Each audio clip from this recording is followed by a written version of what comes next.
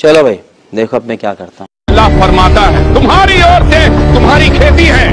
तो अल्लाह ने बताया है कि जब किसान अपनी उस ज़मीन की खातिर लड़ता है कतल हो जाता है जो ज़मीन आलू प्याज टमाटर पैदा कर रही है तो उस ज़मीन की उससे भी ज़्यादा कदर करो जो इंसानों की सूरत में पैगंबरों को पैदा कर रही है उलमा सुलहा को पैदा कर रही है मुबल्लिगीन को पैदा कर रही है कारखाने चलाने वाले मजदूरों को पैदा कर रही है कारोबार करने वाले ताजरों को पैदा कर रही है घर बसाने वाली बच्चियों को पैदा कर रही है बुढ़ापे में माँ बाप का सहारा बनने वाली औलादों को पैदा कर रही है।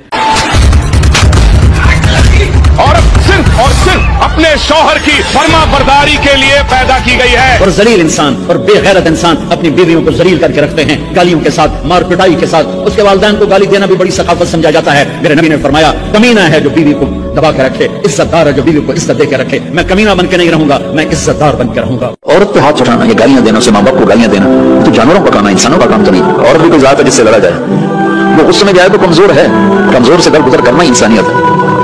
मेरे नबी ने फरमाया शरीफ आदमी बीवी से डर के चलता है और कमीना आदमी बीवी को दबा के चलता है। तो मैं कमीना बनकर नहीं रहना चाहता मैं शरीफ बन। इंसान को चाहिए कि अपनी बीवी के साथ उसने सुलूक करे मोहब्बत करे इसलिए कि औरतों के दिल बड़े नाजुक हुआ करते हैं उन्हें टूटने से बचाएँ। तो एक लुकमा अपने हाथों से बीवी के मुँह में डालो एक या दो या तीन इससे क्या होगा? ये मेरे नबी की सुन्नत है आप हम आयशा को लुकमे बना के खिलाते थे।